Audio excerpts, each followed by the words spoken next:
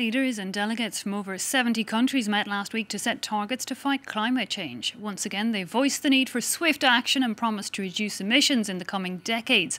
But the immediate steps to take were less clearly laid out. It's five years since the Paris Agreement was adopted, and as economies cope with the financial impact of COVID 19, many are now investing in high carbon activities. Money, both when it comes to the cost of change and deciding where to invest it, could be a major tool in fighting for Earth's environment.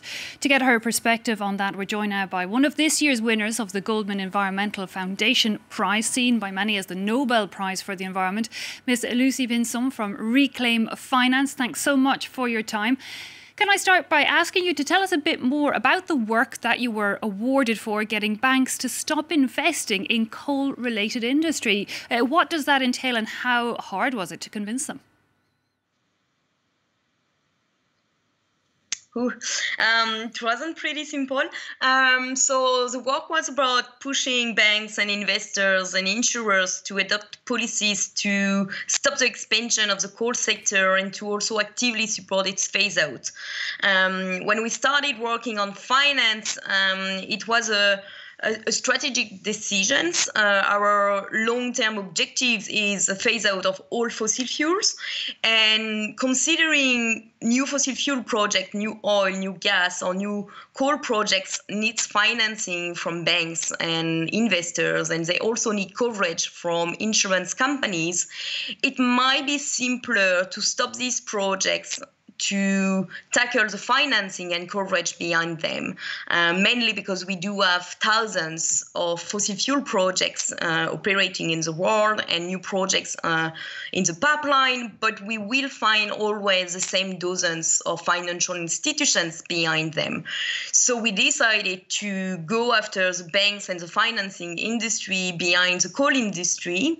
Uh, as at the beginning, when we started, no financial institutions had uh, restricted its support to the coal industry.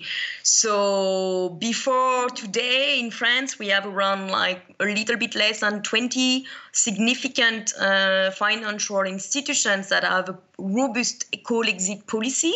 Um, but when we started, uh, no one had it. So we we didn't make it at once. Like it was one step after another. Um, first pushing a banks to withdraw from a project and then to commit to stop financing all projects and then tackling the financial services to the companies. Mm-hmm. And to do that, uh, we use different arguments. Uh, it's true that these financial institutions usually think in the short term and based on economic and financial figures. So we explain to them that in the long run, these decisions were might not be the best.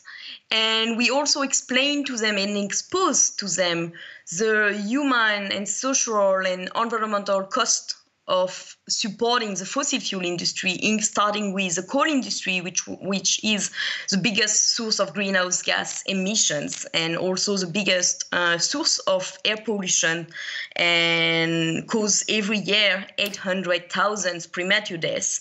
So we explain that to them, and we show that behind these impacts there is a reputational risk for these financial institutions to be exposed as being responsible for the climate crisis. Mm, so, in the end, did it come down to them also seeing the financial impact they could face with investing in, in coal related industry? Because let's face it, you know, banks, uh, financial institutions, they're about making money and investing in what they'll get their returns on.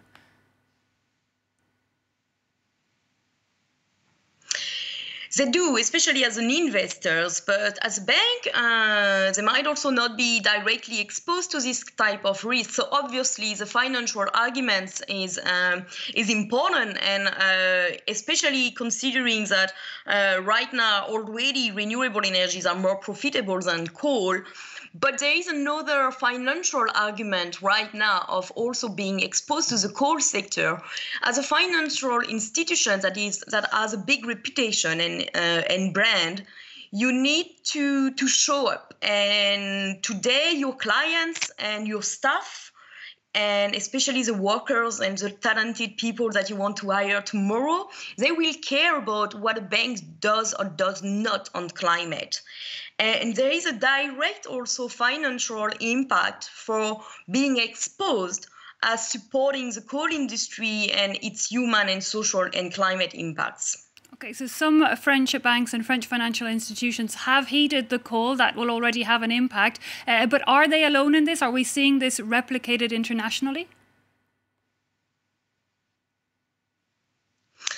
So, so far, the policies are the last one, the last bit of policies that have been adopted in, in France are already showing um, are already being replicated uh, overseas. So the bank, Italian bank UniCredit, has adopted a policy which is very similar to the one adopted by the French banks. Uh, so that's a great uh, it's a great movement. However, internationally the policies on coal remain very weak. We have today more than 230 policies adopted by financial institutions on coal but our research shows that it's not a question of having or not having a policy on coal. It's a question of the quality. And today, the quality is not strong enough to really prevent the expansion of the coal sector and support its phase out. So it's going to be one of the, our main challenge in the coming year. Uh, do you feel optimistic as things stand?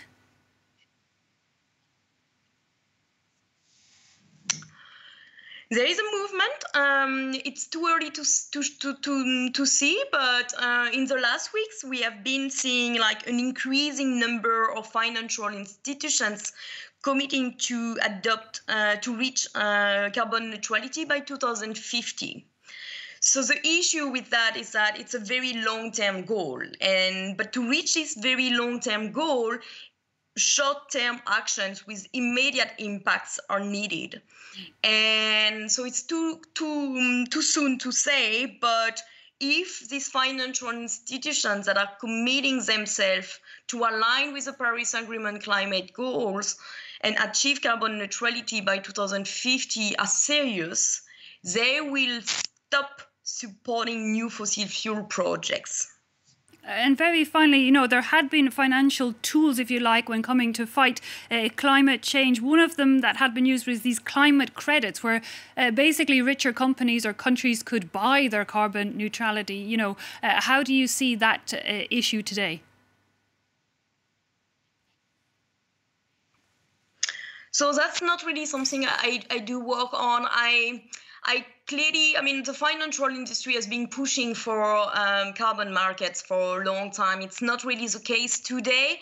I think uh, this type of uh, mechanisms are might be needed at national level or in Europe, for example, but um, uh, like a tax more be, but a, a, market where credits are being sold um, are, I think, um, gonna not make it up.